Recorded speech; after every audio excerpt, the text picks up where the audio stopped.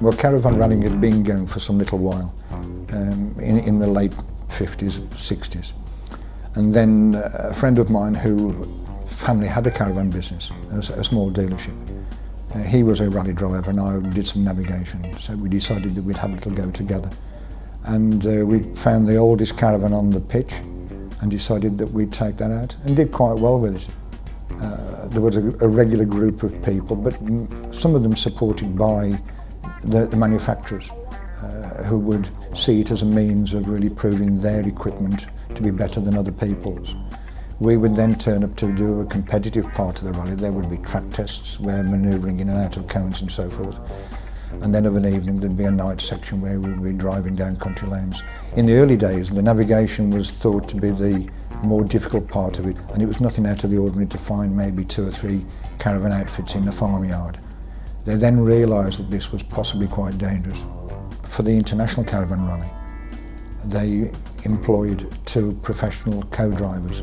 In, in the very early days, there were people, that, as we did, started with our, our own caravan, our own car. But then, uh, want to compete, one had to get something a little bit better. And after the one international caravan rally where Ford had built a car and caravan for Roger Clark to use, I literally rang Peter Ashcroft, who was their competitions director. And then I said, well, may we borrow it for the rest of the season? And he said, I don't see any reason why not.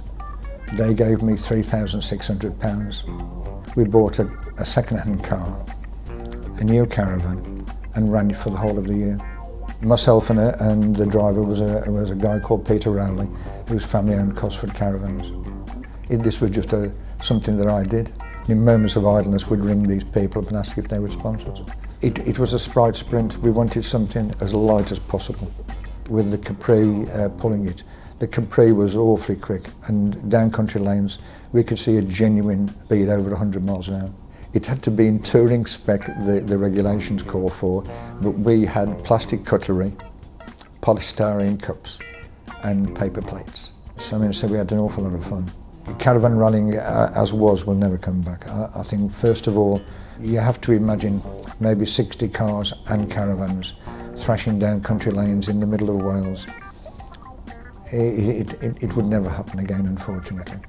We, we bought the caravan uh, at the beginning of last year and not, I hadn't driven forward with the caravan for I don't know 30 odd years, 40 years maybe and my wife was awfully nervous. We've got a, a Jaguar X-Type that I take with.